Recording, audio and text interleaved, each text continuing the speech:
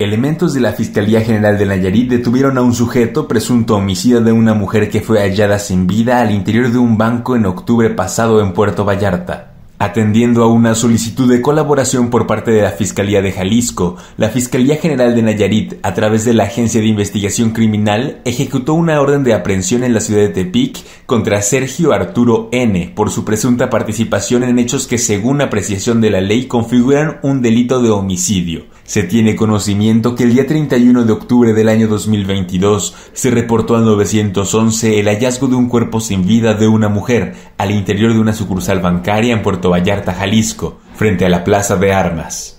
Agentes de la Policía Investigadora de Jalisco adscritos a Puerto Vallarta serán los encargados de trasladar al imputado y posteriormente ponerlo a disposición del juez de control de primera instancia del sistema penal acusatorio y oral para dar continuidad a los trámites legales que establecerán su situación jurídica.